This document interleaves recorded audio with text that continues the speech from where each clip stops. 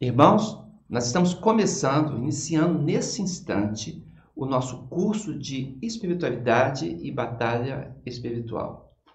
Esse, esse tema ele é muito importante porque ele diz respeito às coisas do nosso dia a dia.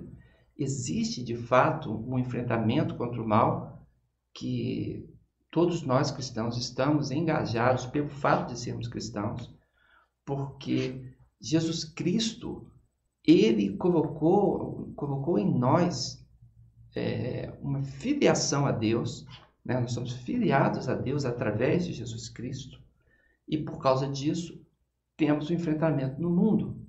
Esse enfrentamento diz respeito aos espíritos malignos, espíritos de trevas, aos demônios, Satanás. Né? A Bíblia diz que o nosso enfrentamento não é humano.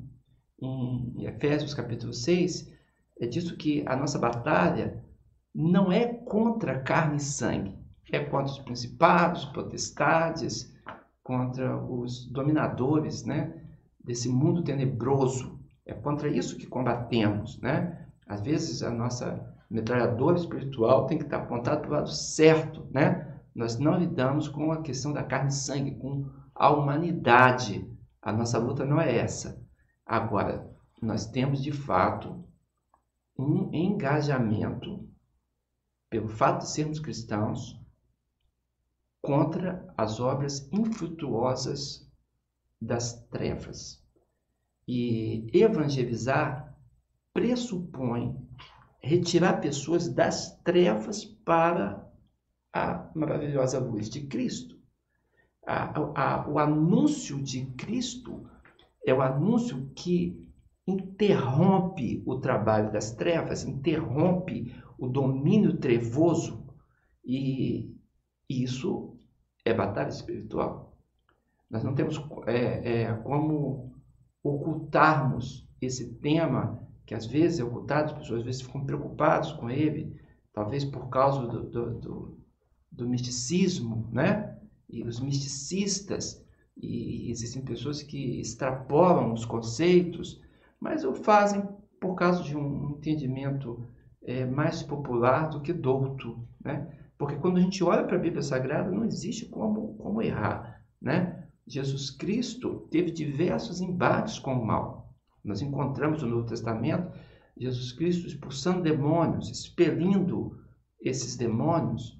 Encontramos Jesus Cristo agindo em benefício das pessoas e detendo o mal, né? E a gente encontra, inclusive, alguns diálogos né, uh, que, que aconteceu nesse, é, nesse interregno, né, quando Cristo encontrava as pessoas oprimidas e agia pelo poder que ele tem para retirar o cativeiro, romper com as cadeias e, e, e fazer com essas cadeias sejam arrebentadas mesmo, destruídas, para que as pessoas possam ter liberdade é, pelo Espírito Santo de Deus. A Bíblia diz que onde o Espírito de Deus está, aí há liberdade.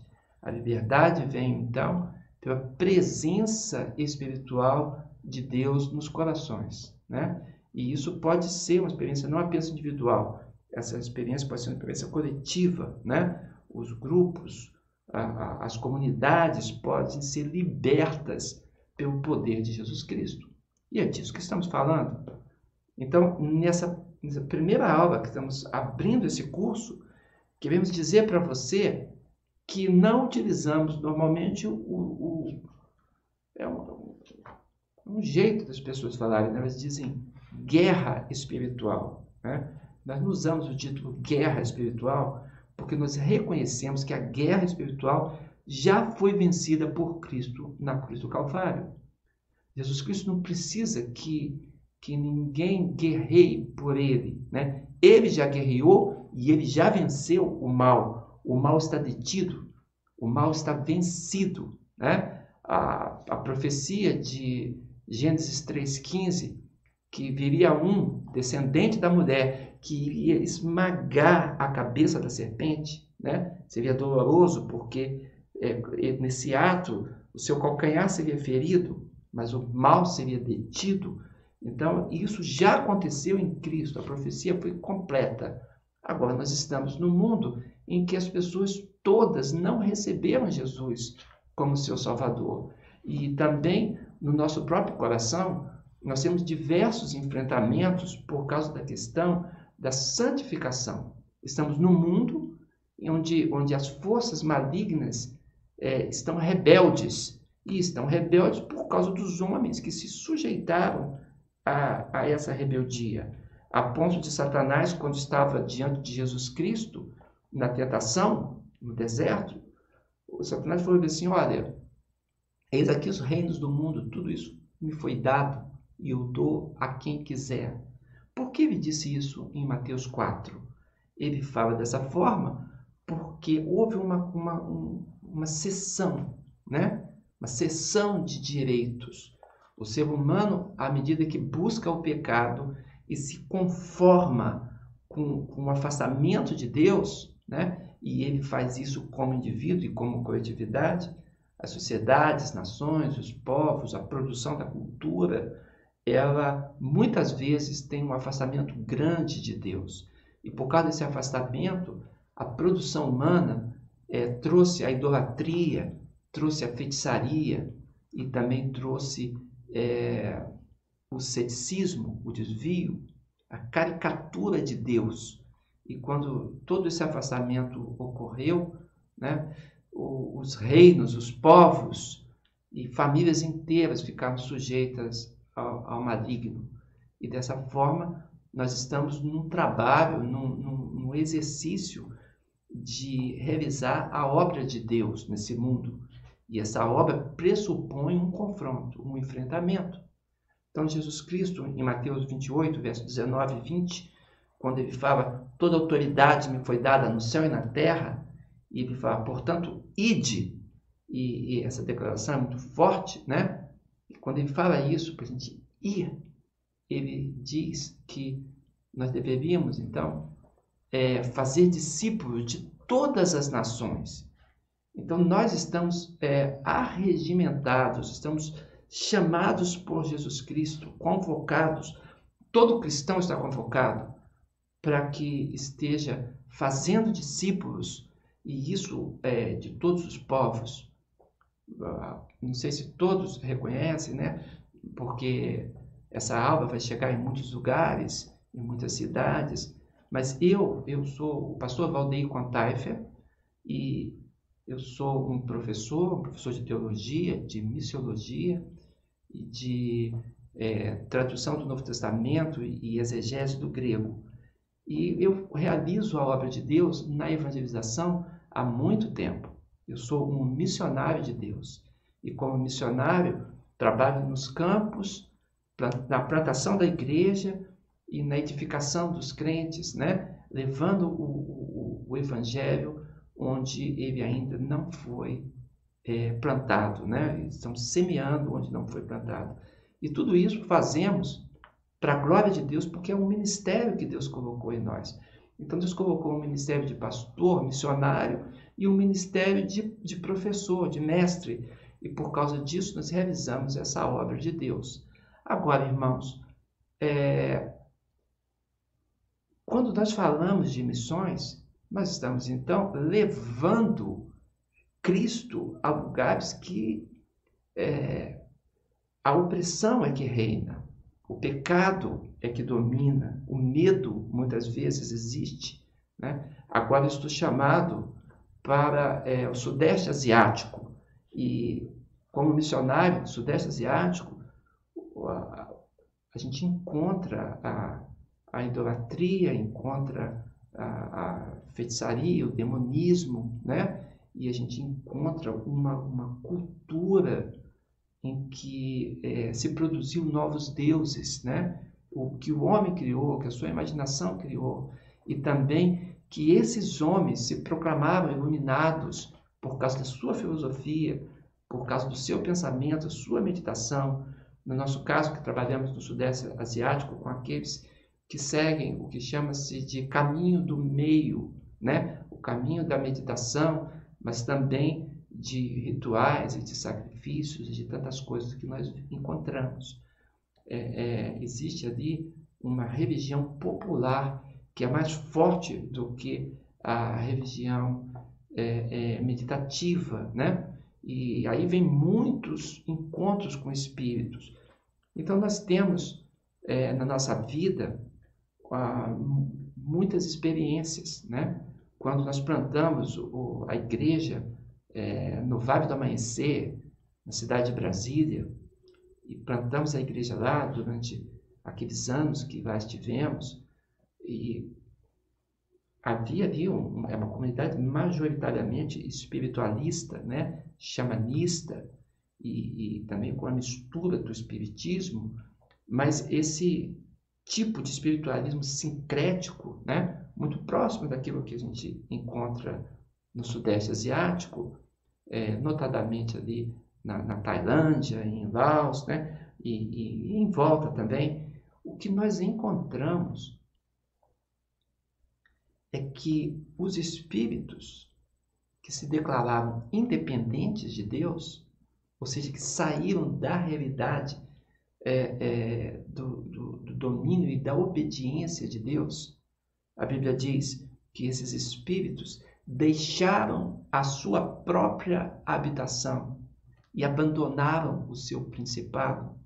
Então, esses espíritos, eles é, se manifestam aos homens e se manifestam como entidades. E essas entidades são chamadas de divindades, que são chamadas dessa forma, né? De, de, de deuses, de manifestações é, é, e emanações e tantas coisas mais. E as pessoas procuram, então, por não reconhecer as escrituras ainda, né? É o caminho que conhece, a sinceridade nelas, na busca. Em alguns não, mas em muitos, na grande maioria, a sinceridade na busca. Mas esses espíritos escondem o Deus criador de todas as coisas. Por esse motivo, nós estamos envolvidos em batalha espiritual, estamos envolvidos no confronto contra as trevas e em prol das pessoas, em prol da boa cultura e em prol do brilho da glória do Evangelho de Jesus Cristo. É isso que fazemos. Então, como eu disse, não é que haja o um, um nosso envolvimento numa guerra espiritual, porque a guerra é a totalidade e essa totalidade Jesus Cristo já realizou. Mas há lugares rebelados no mundo espiritual e há tentação e há armadilhas do mal que precisam ser enfrentadas. Colossenses 2,15 diz que Jesus Cristo despojou os principados, as potestades e os expôs publicamente, triunfando deles na cruz. Então, essa obra de Colossenses 2,15 já diz que a guerra foi vencida, Jesus já venceu e ele ofereceu a nós e tem oferecido a participação na vitória, a participação no, no despojo, né? 1 Coríntios 15, verso 57, nos apresenta essa realidade. E nós, então, temos uma guerra consumada, mas ainda há setores a serem vencidos. É, eu posso aqui pensar, por exemplo, é, na guerra, quando o inimigo principal é vencido, mas ele coloca setores de resistência, setores rebeldes, né? E movimento de guerrilha é, um, é uma boa ilustração para entendermos o que resta a nós. Só que no nosso caso, Jesus Cristo disse que o mundo jaz no maligno, porque são muitas pessoas e muitos povos declarando né, esse afastamento de Deus por desconhecimento do Evangelho ou por uma opção mais é, é, fortemente alicerçada numa escolha consciente. Então, cabe a nós apresentarmos Jesus. Os povos precisam saber, as vidas precisam saber, eles têm o direito de saber o que Deus fez para que o homem pudesse ter paz com ele. O que ele fez doando sua própria vida, o Filho de Deus, aqui entre nós. Então, Apocalipse 3, verso 21, é, nós encontramos a palavra de Deus dizendo: ao que vencer, é uma palavra é, é, é, de, de engajamento, né? Ao que vencer, ele diz, né? Eu vou permitir que se sente comigo. Eu concederei, é a palavra da Bíblia, que se sente comigo no meu trono, assim como eu venci e me sentei no trono de meu Pai. É uma palavra de Jesus Cristo. Então Jesus nos coloca realmente numa luta que cabe a nós buscarmos a vitória. E essa vitória acontece em Cristo Jesus, por Cristo Jesus e para Cristo Jesus, né? É uma exaltação de Cristo. É, faz parte do louvor de Jesus Cristo que nós alcancemos a vitória e possamos nos assentar juntamente com Ele. Né? Apocalipse 21, verso 7, a, a Bíblia fala: quem vencer herdará todas essas coisas. Então, existe uma descrição da bênção do céu, uma descrição da bênção de estar em Cristo e com Ele, e conviver com Ele para sempre. Então, a Bíblia fala: quem vencer? O que ela está propondo é que nós estejamos numa batalha diária e, e numa vitória de todas as coisas. Mas quando nós falamos de batalha espiritual, ela vai mais além do conceito da batalha di diária. As pessoas falam, matar é, é, um inimigo a cada dia, né? É, é, não, não é apenas isso. A batalha espiritual, ela tem referência a questões basilares fundamentais que vão implicar no, na, na proclamação da glória de Cristo e na continuidade do, do, do, do desdobramento dessa glória, alcançando vidas e promovendo o nome do Senhor. Então, não a, a, batalha espiritual não se refere a coisas corriqueiras, mas se refere realmente a enfrentamentos do mal. Em Gálatas 15, verso 18, 19, podemos ir até o 21, a, a, desculpa, Gálatas não, é Gênesis 15, e do, do verso 18 até o 21, nós encontramos Deus falando né, que ele deu para Abraão, né, eu tenho dado a tua descendência. E ele fala dos povos, os lugares onde os povos, né, o, o, os filisteu, o filisteu, o perizeu, o ele começa dizendo diversos povos, né? E aí ele fala, eu tenho dado a vocês. Então, o princípio espiritual é que aquilo que Deus nos dá deve ser conquistado. Né? Ele fala: Eu tenho dado a você, mas ele também nos manda conquistar. Então, assim como em Gênesis 15, desse versículo, de 18 a 21, Deus diz que já está dado, em Números 33, verso 53, a palavra de Deus diz: E tomareis né, essa terra a terra em possessão, porque vos tenho dado. Então Deus vem trazendo a realidade de que aquelas pessoas, aquele povo que, que ele chamou, e aquela terra que ele concede, que ele promete, a terra prometida, ele diz: vocês precisam tomar posse, precisam conquistar. Então a batalha espiritual implica em nós fazermos alguma coisa.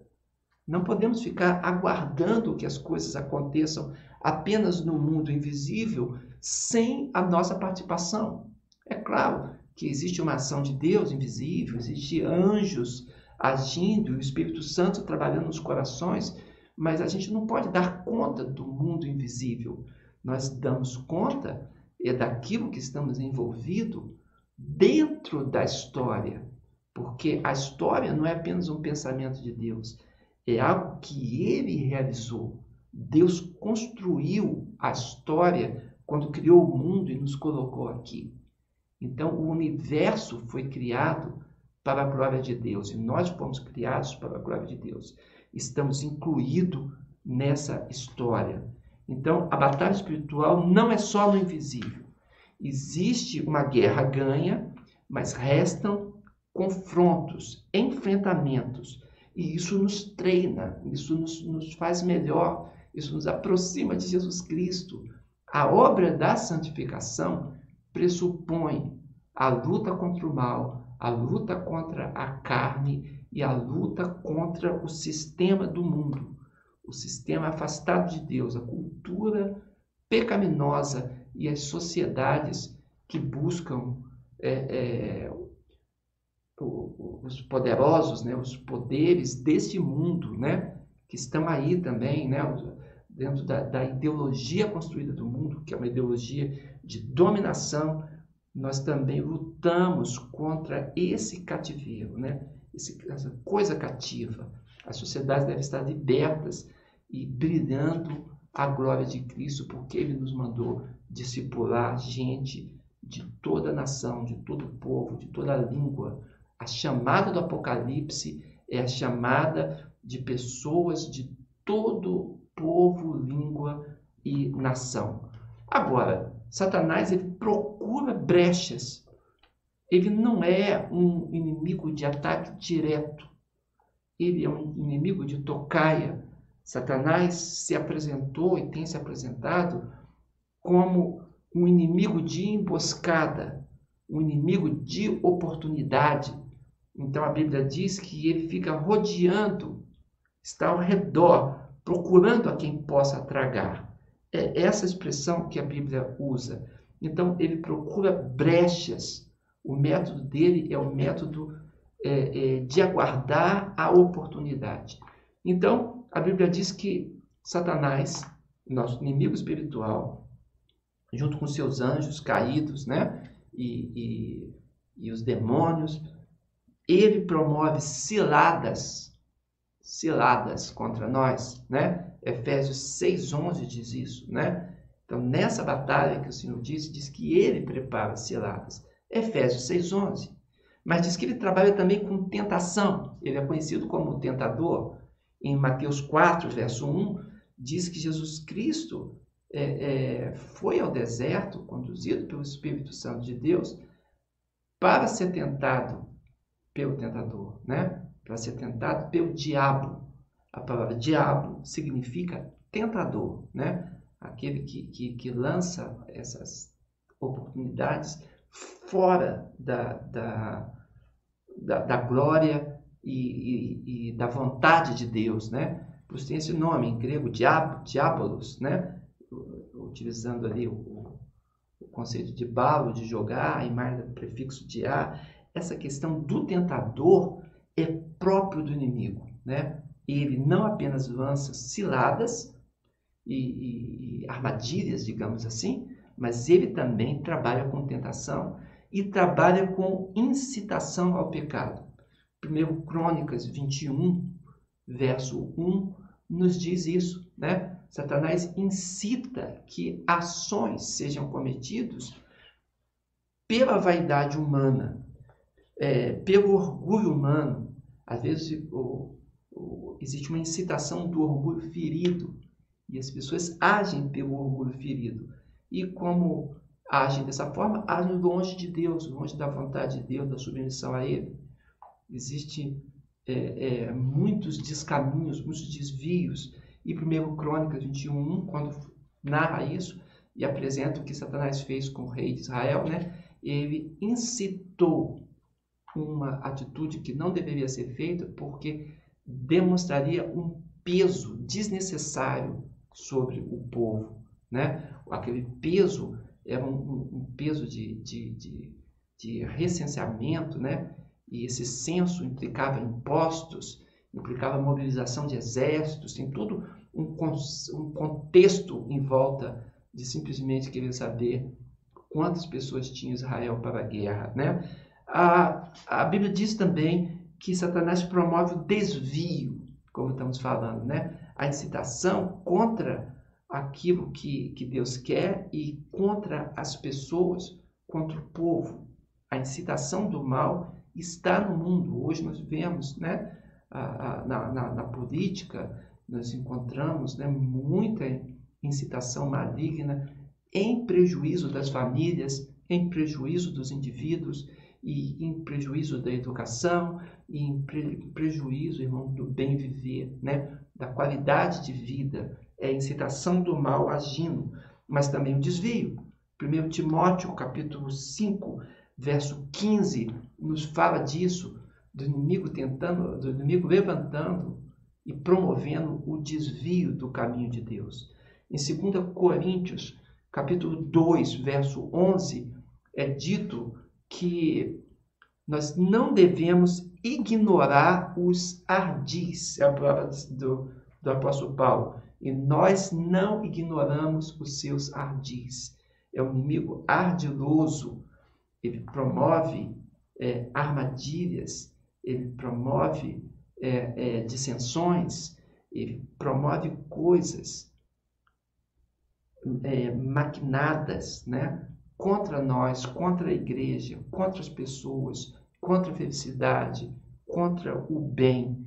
E quanto mais as pessoas caem nesses ardis, né, e, ignoram que existe um inimigo porque ele é invisível, e muitas pessoas não sabem, né? Tem pessoas que nunca viram uma pessoa endemoniada e não sabem o que é a presença de um espírito ruim na vida de alguém, né? Até que ponto pode chegar ah, o domínio dessa força invisível, mas é uma força de personalidade, né? Contra nós, contra os humanos. Então a Bíblia fala sobre isso. Então essa batalha ela acontece e aqui eu estou encerrando essa nossa primeira aula, estou botando o contexto do que vamos falar, né? E, e essa, essa batalha ela acontece em três níveis: no corpo, na mente e nos ares. Corpo, mente, os ares são a, a, as regiões celestes, né, utilizadas pela Bíblia, esse termo, ou região dos ares, né, a, a atmosférica, digamos assim, né. Então, quando a Bíblia fala do, do embate batalha espiritual com relação ao corpo, nós estamos falando justamente de aflições. Existem aflições psíquicas, né? E, e, com, com consequências somáticas, psicossomáticas. Tem pessoas que são tão afligidas na mente que perdem a sobriedade, né? E, e o mal quer, quer enlouquecer. A, a Bíblia diz que Deus não nos dá aprovação acima do que possamos suportar mas Satanás dá. Se ele puder destruir uma mente, ele o fará. Se puder destruir um corpo, se puder colocar chagas malignas, ele fará. Ele busca a destruição, o mal e o desconforto. Então, a Bíblia nos fala sobre isso e, e as nossas aulas vão, vão dissertar sobre esse tema. Né? E além do corpo, existe, como eu falei, uma batalha na mente eu, eu insisti aqui na questão é, psíquica, psicossomática, né, já falando sobre a mente, mas existem doenças malignas e a Bíblia fala sobre essas doenças. Nós vamos ver especificamente sobre isso. Mas, além do combate no corpo, né, nós temos o combate na mente. E a Bíblia fala em Tiago 3, verso 16, sobre é, todo o espírito faccioso, né, onde há facção, há toda sorte de perturbação. Tiago 3,16 fala sobre isso.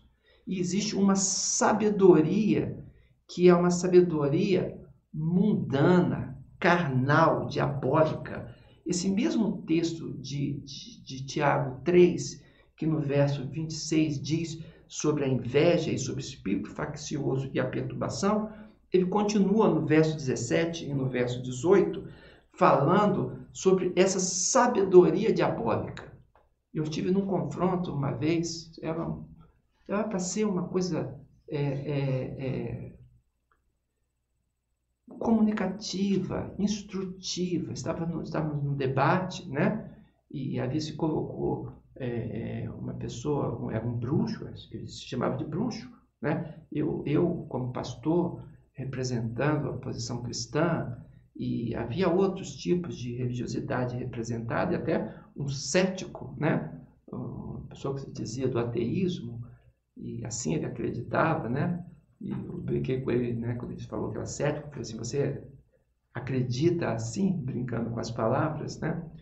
Mas aquele bruxo, ele demonstrava uma sabedoria maligna, ele enchia de palavras ele multiplicava palavras. E naquela multiplicação de palavras, Ele não deixava a gente raciocinar. Ninguém conseguia responder, nem eu conseguia responder.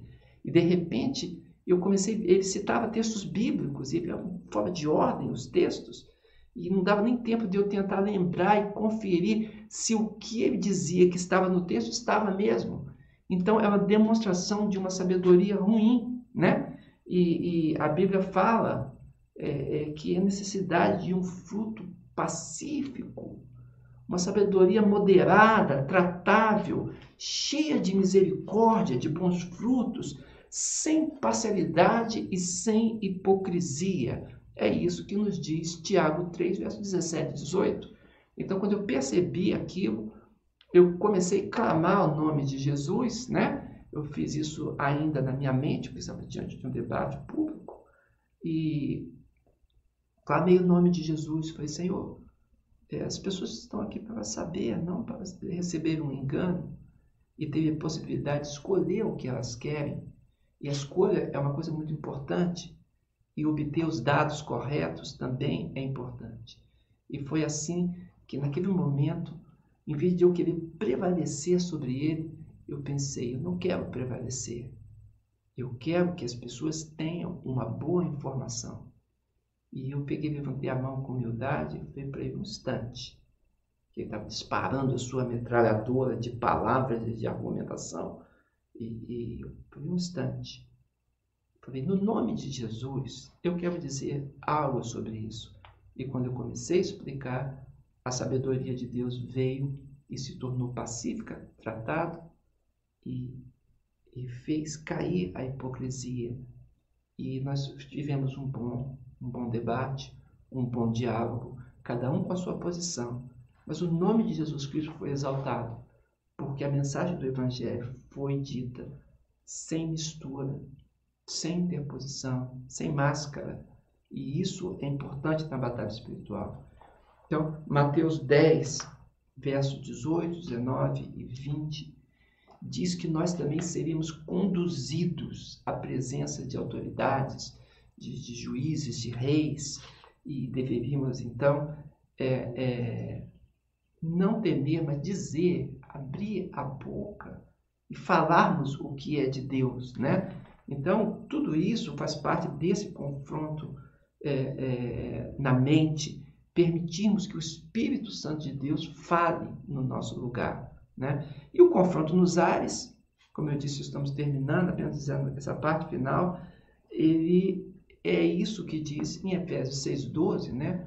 Não, não uma guerra contra carne e sangue, que é um hebraísmo para dizer não contra humanos, mas é uma luta contra principados e potestades, e a Bíblia diz nas regiões celestiais. E, e quando a Bíblia fala isso, claro, não está falando do céu de Deus, onde Deus está, está falando da região atmosférica, está falando onde os espíritos ficam ao redor, né? E buscando ocasião e, e o lugar da sua habitação provisória, né? Porque Jesus Cristo falou que ele falou assim: "Eu via Satanás cair do céu como raio", né? Então ele não está no céu de Deus, né? Mas nós temos essa região aqui da terra, né, nos ares. E é isso que Efésios 6:12 fala, né?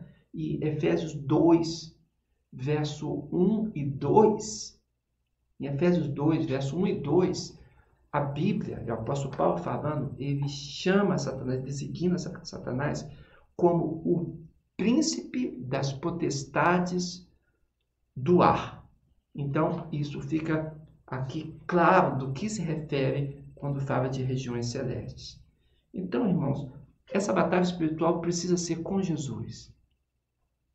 O nome de Jesus precisa ser ressaltado. Efésios 3,17 nos diz que seja Cristo.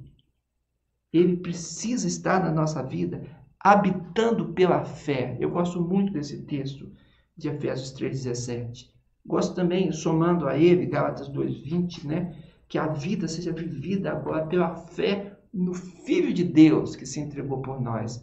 Então, essas palavras, tanto de Gálatas quanto de Efésios, apontam para o, para o nosso coração de que é pela fé em Cristo que as coisas acontecem, né? E precisa ser pela palavra de Deus. ah, o grande exemplo é que Jesus citou a palavra de Deus quando em confronto com Satanás no deserto, né? Está escrito. Jesus dizia, né? E quando Jesus dizia, também está escrito, e ele apresentava a palavra de Deus, a vitória veio. Então, a batalha espiritual acontece pela fé, acontece em Cristo e acontece na utilização da palavra de Deus, na argumentação da palavra de Deus. E terminando essa batalha espiritual, lá em Lucas 10, 17, diz bem assim: é, é a declaração dos discípulos, né, a declaração dos 70 que saíram na autoridade de Jesus e em nome dele pelas cidades, né, proclamando o trabalho missionário, o trabalho que nós fazemos, o trabalho que você faz. A, a palavra dos discípulos em Lucas 10, 17 foi bem assim: Senhor, pelo teu nome, até os demônios se nos sujeitam. Então eu quero te convidar a participar desse curso, a continuar com essas aulas, a olhar para a apostila que nós estamos postando aí. A apostila, irmãos, é a integralidade de um livro meu. O livro é, é Enfrentando as Trevas sob a Divina Luz. E nós estamos usando é, partes desse livro para ministrarmos essas aulas, mas ele está na íntegra aí para vocês baixarem e usarem. Participe! Comunique com outros sobre isso. Apresente o seu próprio coração para poder é, é, vencer e ministrar sobre outros a vitória de Cristo. E a glória dele brilhará, brilhará, porque Jesus brilha sempre e onde ele brilha, treva nenhuma fica. Deus te abençoe. Em nome de Jesus. Amém.